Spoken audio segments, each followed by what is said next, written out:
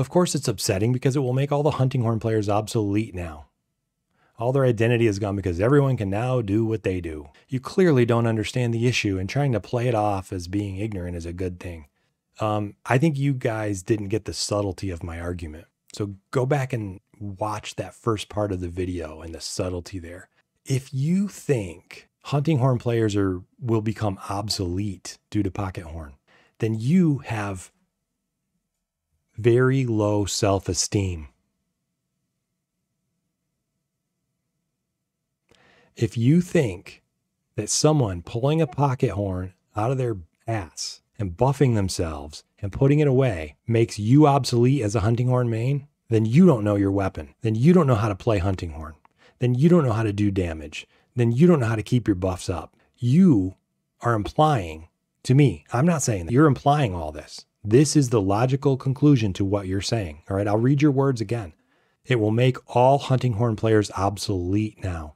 If you think that makes you obsolete, then you're telling us that you're what we most fear, that you're a corner horner, that all you do is stand off to the side, out of danger, and play your buffs and wait for them to fade so you can play them again. Is that really what you mean? Is that really how low you think of yourself? I don't believe that. I don't believe that for one bit. I know you're better than that. I know you're stronger than that. I know you're more valuable than that. And everyone else does too. So, what do we need to do to help boost your self esteem as a hunting horn main? Great comment, by the way. Like dissertation. I'm, I'm glad you guys do this. I'm glad you guys take the time because your your concerns are valid in that you have them and they make you feel bad. It doesn't mean that they're right. It doesn't mean that you're drawing logical conclusions. You're drawing conclusions based on fear, based on insecurity.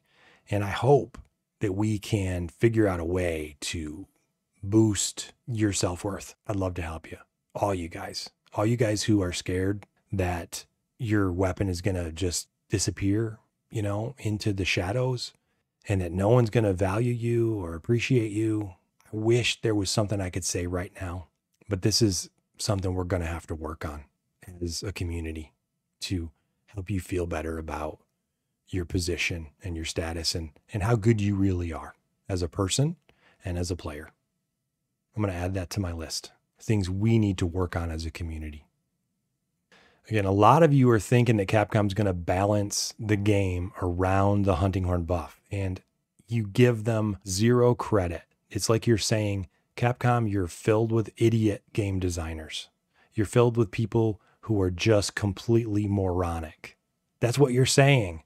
I don't see it how to, how you can translate that any other way. I have more faith in Capcom.